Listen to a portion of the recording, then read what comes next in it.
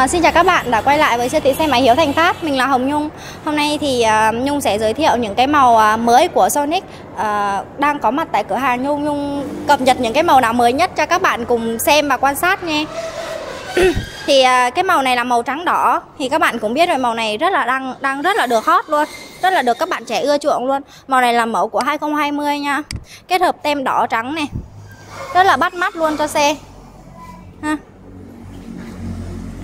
Tiếp theo đây là màu ờ, Sonic xanh đen. Uh, Các bạn nào uh, ấy thì đọc là xanh lục gì đó.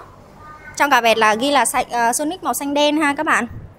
Màu này thì kết hợp uh, cái phần tem đỏ của nó này Xanh đen. Nhìn rất là mới lạ luôn Kết hợp um, mâm đỏ cho xe luôn nha các bạn.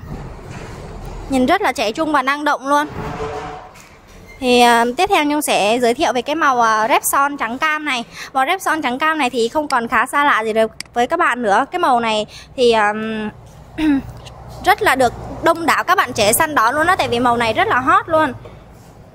Kết hợp tem uh, trắng cam đen này.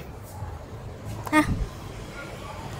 Tiếp theo là màu uh, Sonic vàng đen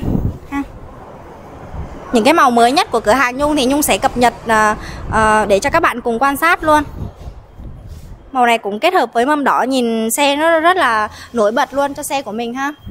Thì đối với những dòng Sonic này các bạn chỉ cần trả trước cho bên Nhung là khoảng 15 triệu đồng là được rồi nhá Thì cái thủ tục trả góp rất là đơn giản luôn Chỉ cần chứng minh bằng lái hoặc chứng minh hộ khẩu là được rồi nhá số tiền góp hàng tháng thì phụ thuộc vào khả năng chi trả của các bạn à, ví dụ như hàng tháng các bạn có dư ra khoảng 2 triệu mấy 3 triệu mấy thì các bạn nói với ngân hàng thì ngân hàng sẽ chọn cái gói lãi suất phù hợp với ừ, phù phù hợp cho các bạn luôn thì ờ, địa chỉ của cửa hàng Nhung là nằm ở khu phố Phú Nghị, phường Hòa Lợi, thị xã Biên Cát, Bình Dương.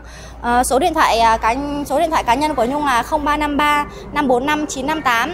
Bạn nào mà có muốn biết thêm thông tin về xe và muốn biết rõ về các cái thủ tục trả góp và những cái thông tin liên quan tới xe thì các bạn cứ kết bạn Zalo với Nhung hoặc uh, uh, gọi trực tiếp cho Nhung. Số điện thoại của Nhung có để bên dưới phần mô tả rồi á. Bạn nào quan tâm thì cứ liên hệ trực tiếp cho Nhung ha.